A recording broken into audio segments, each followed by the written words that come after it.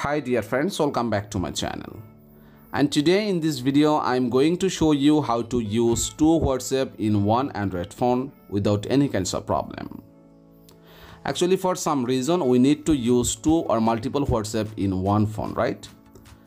But if you don't know the process how to do that, then there is no worry because in this video, I'm going to show you 100% working process for using two or multiple WhatsApp in one Android phone.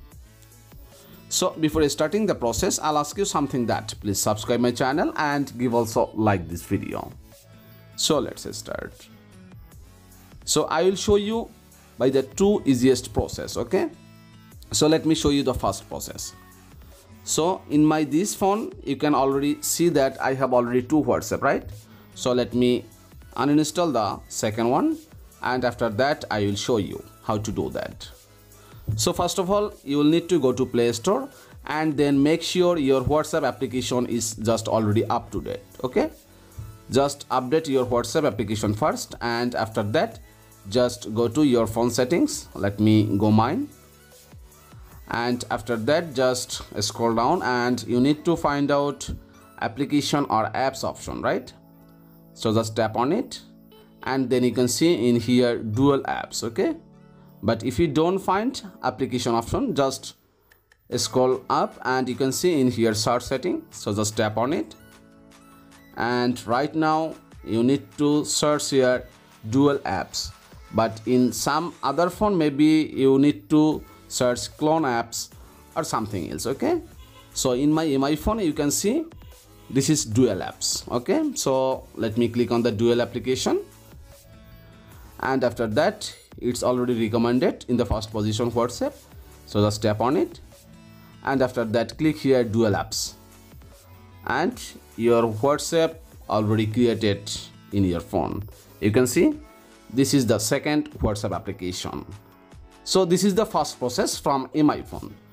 But if you don't find this process in your phone then i will show you by the samsung phone. So let me come to the second process and which is from samsung phone just again update your whatsapp application from play store. And after that just go to your settings. And then you can see in here search option. So just tap on it. And you need to search here dual messenger in samsung phone okay? Just right here dual messenger. In the first position you can see dual messenger. And in oppo or vivo phone maybe you need to search uh, clone or dual apps whatever okay? So just tap on the dual messenger. And after that you can see dual messenger so just tap on it. And right now you can see there is whatsapp already available. So just tap on it. And after that just click here install option. Then click confirm option. And you can see use separate contact list. You can name separately okay so right now I don't need to do that. Just get back from here. And your WhatsApp application will be created. Just wait for a few seconds. And you can see second copy of WhatsApp already installed. Let me show you.